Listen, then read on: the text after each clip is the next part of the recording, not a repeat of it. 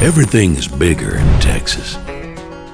The influence of our culture, the land that feeds us, our pride, our passion, our history, the future for generations to come, and their dreams, especially the ones that have cricket in it.